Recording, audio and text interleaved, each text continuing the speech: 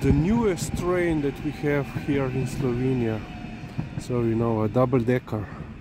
So one row downstairs and upper with the as they said with the large windows for more scenic views of the countryside.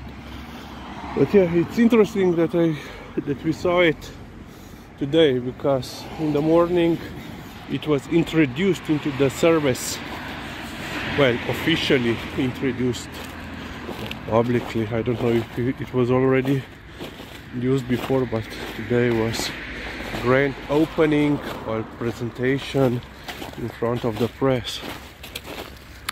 So yeah.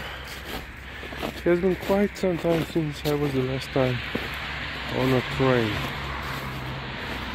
Two years year and a half. So yeah. Hopefully we will go on it and try out how that scenic view is all about.